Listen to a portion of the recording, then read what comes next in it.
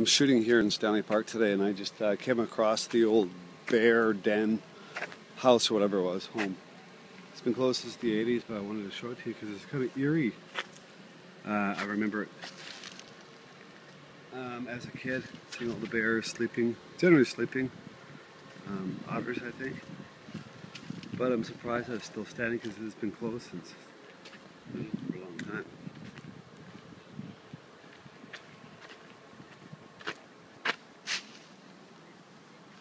I always thought they were jumping hook onto those things.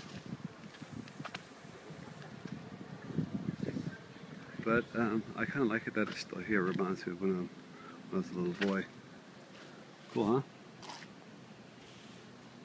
See you later.